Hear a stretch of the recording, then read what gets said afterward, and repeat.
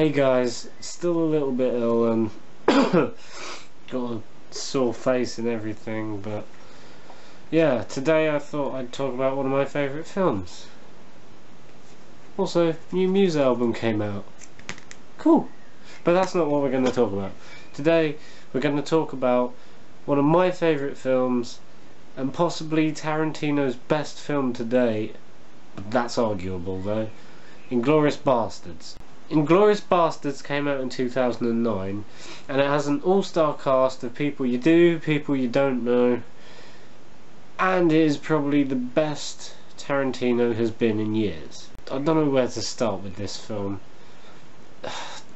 The acting is really really good from everybody in this film. Brad Pitt is on point as uh, Lieutenant Aldo Raine he has this weird kind of demeanor about him that where he comes across as stupid but he actually really is very intelligent and knows how to get around certain problems which I'll give props to him for that. Although his stupidity is very apparent because of his South America very very Southern American accent you know, like Kentucky kind of, you know, like this. You ever heard of the Bear Jew? I'm getting off track. Anyway, yeah, because he does that accent so well, it works with this demeanour of stupidity. The standout, even though everyone is well acted in this film, there is the standout has to be Christoph Waltz, who again proves his acting skills in Django Unchained, but it's this film that is probably his best that he has that he has been for a while and he probably will be his standout role. Even though he plays a Nazi, he plays a Nazi very, very well. He does everything so well and the fact that he doesn't just speak English, he speaks German, French and Italian is astonishing. I will give him props for that, even though it's probably second nature to him. But I will give him props for that. Also, one thing I want to mention about the acting, this is probably the film that introduced me to Daniel Bruhl. And if you don't know who that is, he played Niki Lauda in the film Rush alongside Chris Hemsworth. In this film, he is the best I've seen him. I haven't seen Rush, so I can't comment, but apparently he's good in that. But yeah, this is the film that introduced him to me and everyone else, and I give props to Tarantino for casting him. Tarantino himself also does a great job of directing here.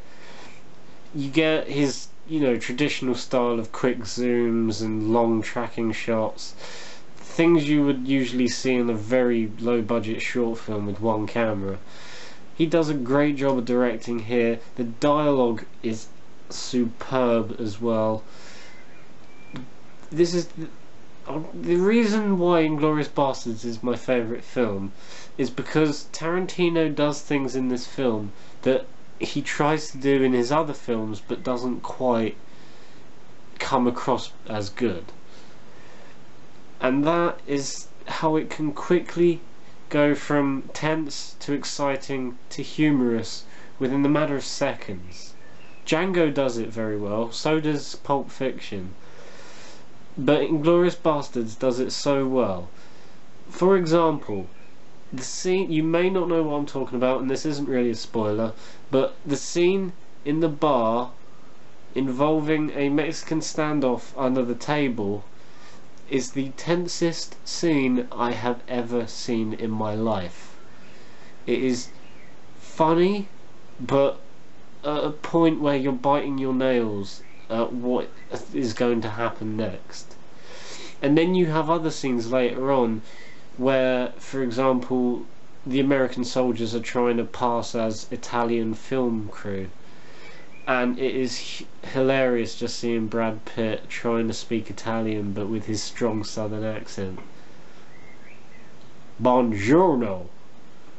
It's just done so well and this is probably the best example of Tarantino mixing so many different emotions into one film I really do appreciate that he did, that so well in this film.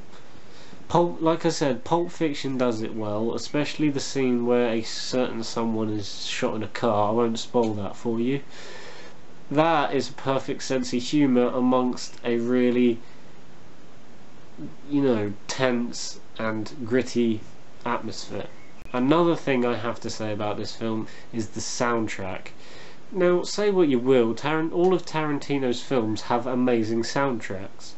Pulp Fiction is great, Django is great, Reservoir Dogs is probably my favourite, but Inglourious Basterds still has an amazing western soundtrack to it. Now, I know Inglourious Basterds is a World War II film, but for somehow Tarantino has used old western slash Spanish guitar playing music and blends it really well with the atmosphere that he's created in this film.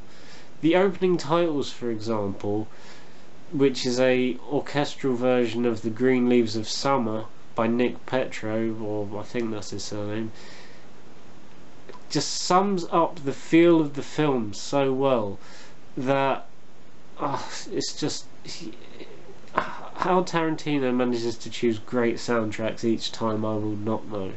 Also, little interesting fact you may or may not have known this is a sort of remake but also also a reworking of a film from the 70s of the same name. Now, I beg to differ of it being a remake because it's a completely different film. The only similarity is it being that it has the same name. But the one from the 70s is a similar style, but is a completely different film. This is Tarantino's Inglourious Basterds. The one in the 70s is just a film called Inglorious Bastards. But I beg to differ that it's a remake because he, Tarantino found influence from it. He didn't take that film and remake it. And to prove this point, he even had the director of the original, whose name I'm not even not even going to try and pronounce. Um, he even cameoed in the film as a American sergeant in the film that plays in the theatre. This film is absolutely fantastic. It's a really great war film. It's really funny at times. It's tense. It's well acted. Really well directed. It looks great as well. I think this might be Tarantino's third film where he directed digitally. I don't know. I think he did Death Proof before this, but it, it just looks so good as well. There's a, lot a it's really stylish and it's got this crispness to it that you wouldn't find in most war films. It's directed perfectly. The soundtrack's amazing, but you probably already knew that. Everything is just so good about this film. Obviously, I'm going to give it a 10 out of 10 because it deserves it. So yeah, that was my first my favourite movies video. Hope you guys enjoyed it. There will be plenty more on the way. I'm thinking of doing a Jaws one soon, seeing that it's its 40th anniversary. 40 years, wow. Like, subscribe, comment. There'll be a video I'm thinking of doing about why remakes are so bad and why people shouldn't do them. I'm thinking of doing one of them. Uh, that will be a really long video, hopefully, but yeah, stay awesome guys. Like, subscribe, comment. Uh, like my Facebook page, The Media Critic, and yeah, stay awesome guys. Bye.